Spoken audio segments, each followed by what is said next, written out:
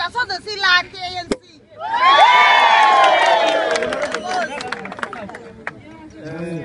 We just want to declare that IEC has delivered best, efficient and professional local government elections in the year 2016. Can baqhwabeleni izandla. The second thing that is very much important is that the ANC in the province of the Eastern Cape has surpassed 65.39 percent.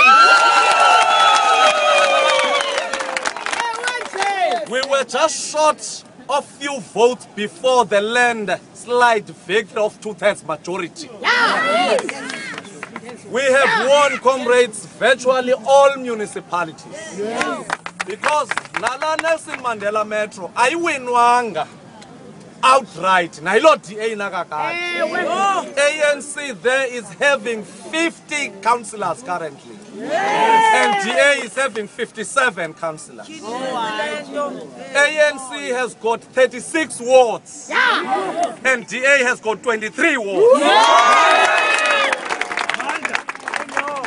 What is a challenge in the ANC traditional areas, my leadership, which costed us in Nelson Mandela Metro, into kokuba ngeli xesha siyovota in numbers. We don't wake up as early as 7 in the morning. Take our cues and line up to vote and vote appropriately.